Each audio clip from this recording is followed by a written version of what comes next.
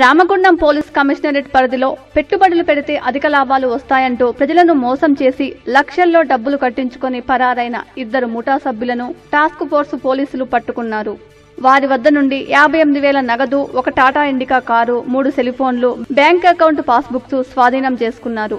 ఈ సందర్భంగా Ramagundam police commissioner V Satyanarayana మాట్లాడుతూ ఆర్థిక నేరాలకు పాల్పడితే వారిపై క్రిమినల్ కేసులు నమోదు చేస్తామని అన్నారు.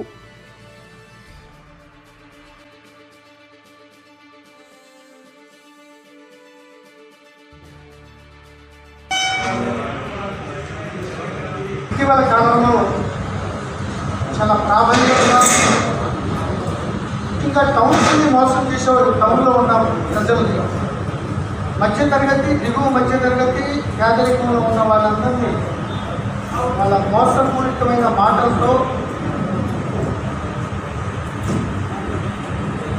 మోసపూరితమైన మాటలతో ప్రజలను మభ్యపెట్టి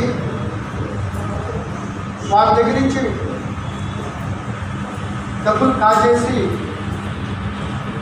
పబ్బం గడుపుకునే గ్యాంగ్స్ అనేటువంటి తయారైంది. గతంలో కూడా చాలామంది పోలీసులు చాలా కేసులు పట్టుకోవడం జరిగింది. ఇటీవల ఆసిఫాబాద్లో కూడా అక్కడ పాల్గొన్న ట్రైబల్స్ను కూడా వాళ్ళు వదిలే పరిస్థితి లేదు. సో ఆ మల్టీ లెవెల్ మార్కెటింగ్ గొలుసు కట్టు విధానంలో రకరకాల మోడల్స్ వాళ్ళు అవలంబిస్తారు. సో దాన్నే మంచిర్యాల పోలీసులు task force CI Kiran ACP Narender గుట్టు